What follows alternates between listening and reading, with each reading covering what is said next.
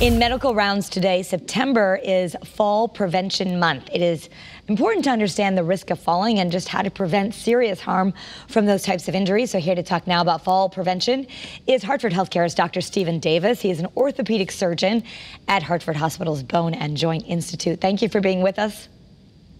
Thank you for having me. Why is fall prevention so important? Well, thank you for having me on. Uh, falls are very important to prevent uh, in the US every year. People over the age of 65, uh, about one in four people will sustain a fall. And a high number of these falls will result in significant severe injuries and trips to the ER. And what sort of injuries do you see after people fall? We can see all kinds of different injuries, uh, certainly head injuries, broken bones. In orthopedics, definitely we're concerned mostly with broken bones and specifically hip fractures. The reason for that is that hip fractures almost always require hospitalization and surgery. There are about 300,000 hip fractures in the United States every year. Uh, women are more commonly affected. And unfortunately, uh, mortality is very common after hip fractures. About 10 to 15% of patients will actually die at one year after a hip fracture.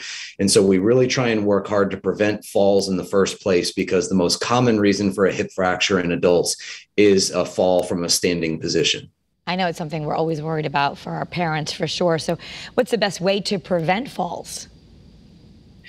It's mostly common sense. There are a lot of things around the home that are tripping and falling hazards. Uh, I see most commonly patients trip and fall going to the bathroom in the middle of the night. So it's important to put night lights in strategic areas to illuminate the path to the bathroom.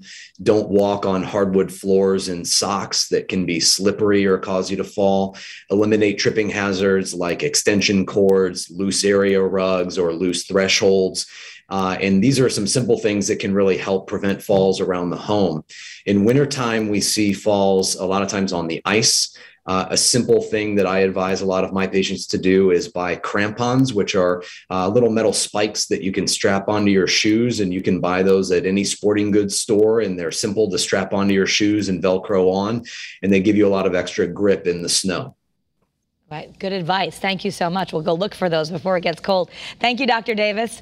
Uh, Hartford Healthcare is offering a free webinar on fall prevention on Wednesday, October 13th at 5 p.m. You can learn more by registering at hartfordhealthcare.org or just call the number that you see here, 855 HHC here.